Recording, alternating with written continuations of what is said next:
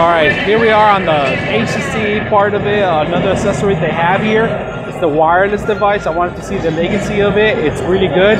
They have an attachment on top of the module itself, and uh, also uh, they need an extra wireless device just so you could be able to place. I didn't see any latency on the on the on the gameplay. It was pretty smooth. It looks pretty decent. This is what I'm looking for. Also, I want to check out the Intel version of it. So uh, we're gonna try to see that one too, and uh, HTC Vive too. So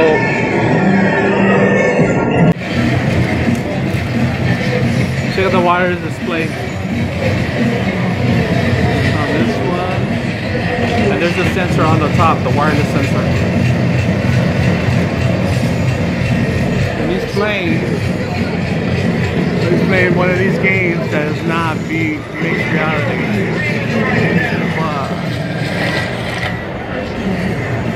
It's a big module compared to my hand. It's pretty decent. It's pretty big. Um, weight, it doesn't seem like it's too heavy, but of course they have all the module part. They have the headset strapping. It straps right underneath of it too. Seems like it connects right in the front of it too also and it goes all around. So it's one of those things that you I don't know the weight sounds like simple. Light.